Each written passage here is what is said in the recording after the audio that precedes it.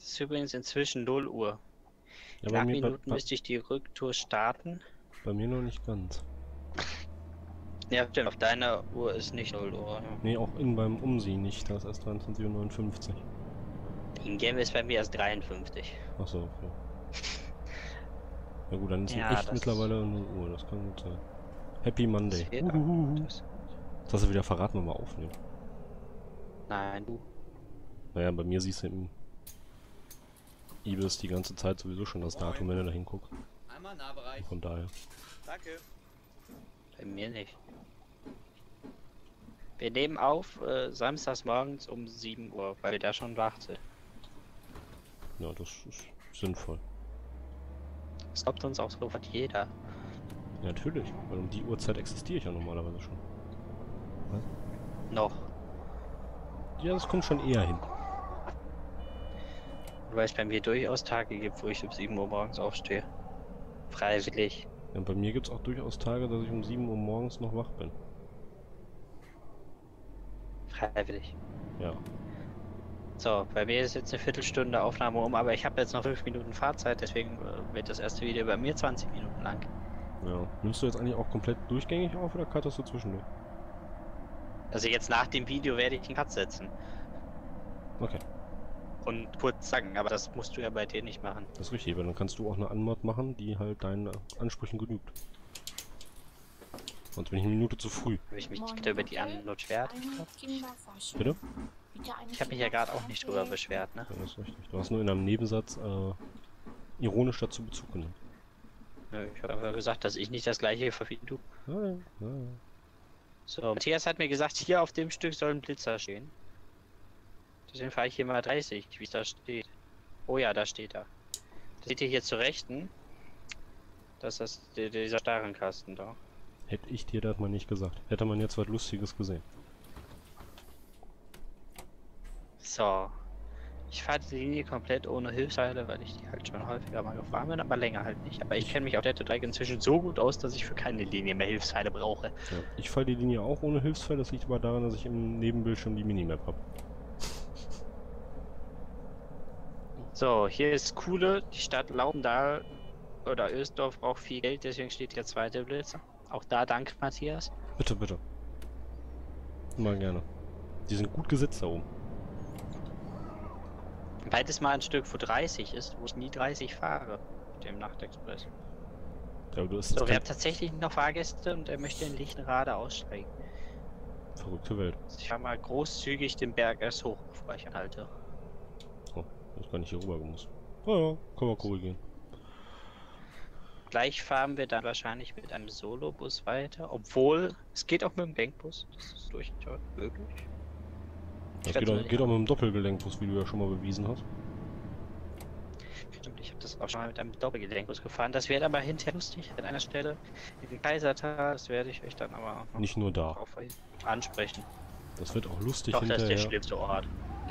Kaisertal war das schwierigste. Das ist richtig. Aber es gibt auch noch andere sehr schöne, enge Stellen auf der gesamten so Ja. Tour. Zum Beispiel hinten Und nur weil Matthias Lessingstraße. behauptet, nur weil Matthias behauptet, ihr seid zu eng mit dem Gelenkbus, heißt das jetzt noch lange nicht, dass ich es nicht mit dem Doppelgelenkbus schaffe. Das ist richtig. So, und hier sehen wir, dass die wirklich viel Geld brauchen, denn hier steht der dritte Blitzer. zu ihrer Rechten an einem Baum. Ja, fand ich ein bisschen fies. Bin ich auch Gott sei Dank nicht von geblitzt worden, weil ich es irgendwie geahnt habe, dass da noch was kommt, aber trotzdem. Hier endet die 30-Zone. Kurz vor der Einmündung. Ich bin vorher fies. 50 gefahren, dann habe ich vor dem Blitzer abgebremst. Mhm. Fakt ist, es ist Sag mal, sind die Haltestellenschilder auf Hamburg eigentlich auch realitätsgetreu? Ja, ne? ich glaube, sollten sie nicht. Nicht schon. ne? Wenn ich mir gerade ganz genauer angucke. So. Und nun kommen wir auch schon zur Endhaltestelle auf der ersten Linie, auf der ersten Tour, Omsi 2. Und ich weiß noch nicht genau, ob das das erste Video wird, aber die Chancen sind da. Jubi. Ösdorf, Bahnhof, ist hier diese Haltestelle, die eigentlich nicht wirklich eines Bahnhofs würdig ist, aber es ist halt nur eine Endhaltestelle von genau einer Linie. Zwei. Wir sehen, wir waren am Schluss zu spät, keine Ahnung, Zwei Linien. ist mir auch egal. ich zeige euch jetzt einfach mal kurz mit Fahrt abschließen, wie das Ganze aussieht von der Auswertung vom Busbetriebssimulator. Ach ja, den muss ich mir ja, Ja. aufstellen. Eine Haltestelle pünktlich, vier verspätet. So, und jetzt werdet ihr auch gleich sehen, ob ich die Genehmigung für den Bus kriege oder nicht. Wir haben 4,1 Kilometer gefahren. Das ist nicht viel. Das ist richtig. Das ist ja auch nicht lang, das Stück. Ja. Ach, apropos, ich habe es gar nicht gesagt. Äh, ich benutze heute mal einen anderen Bus. Weil das war vorhin alles ein wenig chaotisch. Und zwar ist das hier ein Mercedes-Benz O530 in der Aachener Version. Und das musst du genau jetzt sagen, wo ich hier bei der Auswertung bin. Ja, das fällt mir nämlich jetzt gerade ein, weil sonst vergesse ich So, das ich nämlich klicke wieder. jetzt hier auf Weiter. Und wir sehen, ich habe 74% und damit die Genehmigung erteilt für den Bus. Das ist sehr schön. Und ich würde sagen, ich beende jetzt meine Aufnahme hier fürs Erste und wir sehen uns gleich wieder auf der NE78, also für euch im nächsten Video, am nächsten oder übernächsten Tag, auf einer kompletten Runde. Bis dann. Tschüss. Tschüss. Ich glaube, das war genau noch drauf. Ja, wenn, wenn nicht, ist nicht schlimm. Man sieht es ja da, man, man sieht es vor allen Dingen in meinem Video. Ja, genau. Genau, jetzt. Was? Man sieht es in deinem Video, dass du Tschüss hast. So. Ja, das, ich blende eine das Tour ein. abgeschlossen. So, jetzt werde ich mal gucken. Ich werde dann gleich die Tour verspätet starten müssen aufgrund von realer Uhrzeit und so weiter.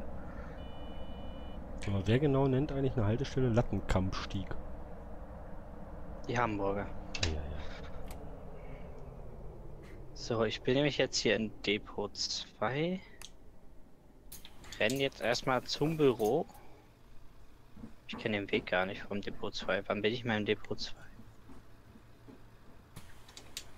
Der Weg ist ja auch nicht so schwierig.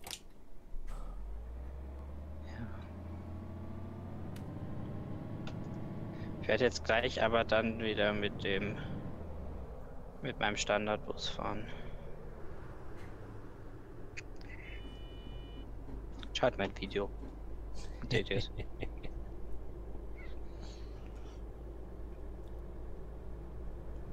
Ja, ich werde gleich aber wahrscheinlich auch einen anderen nehmen, je nachdem was da ist.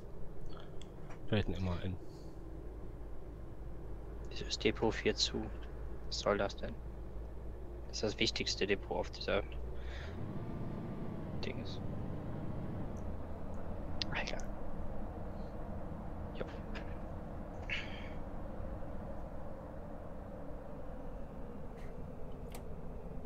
Ich hoffe mal, dass ich dann jetzt in Omsi Sound habe. Ja, da gehe ich erstmal stark von aus, weil dass der Fehler zweimal hintereinander auftritt, weil der ist jetzt nicht gerade der häufigste. Das ist richtig. Und bin jetzt mal kurz für zwei Minuten weg, während bei mir Omsi lädt. Ja gut. Musst du mal deine Zuschauer alleine unterhalten. Oh, ja, guck mal, ob das klappt. Da bin ich mir jetzt gar nicht sicher.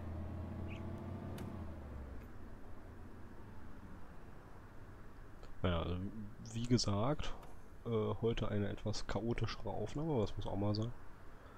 Wir sind jetzt auf gutem Weg Richtung Alsterdorf. Sollten noch ungefähr so knapp 8 Minuten sein.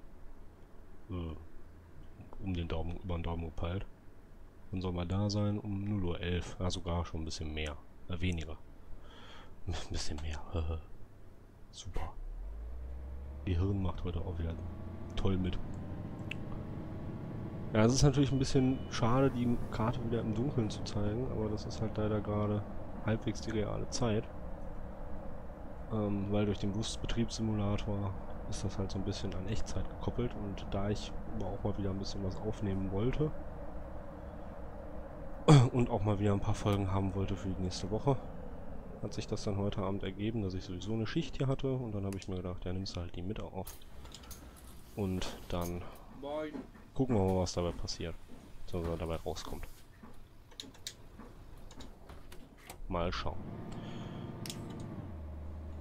Ich kann an dieser Stelle ja vielleicht schon mal eine Kleinigkeit ankündigen und zwar habe ich vor, das Projekt Quatsch Drive, so wie es in der aktuellen Form ist, demnächst so ein bisschen anders zu gestalten und dann die einzelnen Simulatoren auch in einzelne Let's Plays aufzuteilen. Und bei Quatsch Drive halt wirklich so ein Projekt draus zu machen, wo es wirklich mal drum geht, wenn ich da mal wirklich was zum Besprechen oder Bequatschen habe, dass man dann eine Folge davon macht und nicht halt immer auf Teufel komm raus. Und dann erhält das Ganze, glaube ich, ein bisschen mehr äh, ja, Inhalt. Oder Daseinsberechtigung, sagen wir es so. Das ist ein guter Punkt, wieder einzusteigen. Bin absolut richtig. Der Tobi ist zurück. Juhu. Richtig. Aber bei mir lädt Omsi noch. Das heißt, meine Aufnahme läuft noch nicht wieder. Das heißt, meine wird wahrscheinlich genau dann wieder laufen, wenn du mit fertig bist. Nein. Aber es wäre lustig. Könnte aber hinkommen, tatsächlich. So lange lädt Omsi bei mir nicht. Wo bist du denn gerade? Äh, Karl Kohnstraße. Mandatenkampfstieg war eine hinter Winterhude Markt, ne? Ja, genau. Hm. Bin lange nicht gefahren. Das ist richtig. Ich ja auch nicht. Aber für die Genehmigung sollte es reichen. Na dann, Gehe ich zumindest jetzt mal brauchst du drei aus. Unfälle am Stück. Ach, bitte nicht. So, es ist doch ich nicht mehr starte so meine weit. Aufnahme jetzt wieder, ja. Alles klar. Deswegen jetzt kommt jetzt für Matthias Zuschauer noch meine Antwort. Und So, zwar live und in Farbe? Hallo und herzlich willkommen ja, zurück zu Omsi 2. Diese mit Ton. Ich habe den Bus noch nicht vorbereitet, aber die Hupe sagt mir, ich habe Ton. So, den Bus selbst aufrüsten. Also so sieht das Ganze dann aus mit dem Busbetriebssimulator. Ich blende mal gerne den Chat aus. Hier steht, stelle jetzt dein Fahren ein. Also gehen wir hier auf Sonn- und Feiertag. 30, 302. Wir wollen nicht die Betriebsfahrt nehmen, wir wollen schon die 008 Fahrt nehmen. Wie angekündigt, halt ein klein wenig zu spät. Aber halt echtzeitbedingt, weil wir in Echtzeit fahren müssen. Wir werden die Linie 78 oder NE 78 fahren.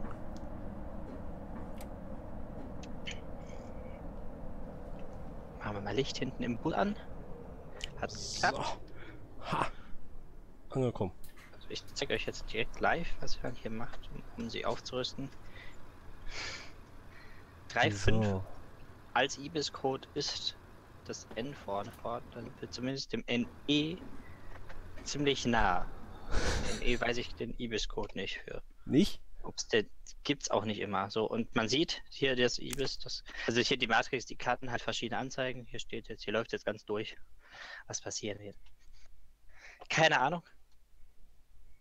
Ich sollte noch einen Gang anlegen und wir wollen eigentlich auch losfahren, weil wir sind eigentlich schon fast fünf Minuten verspätet.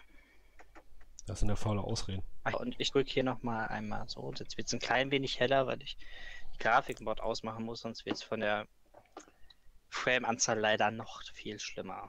Ich habe gerade gemerkt, dass es mit SweetFX ziemlich dunkel ist, wenn man mal ehrlich ist. Ja, ich weiß.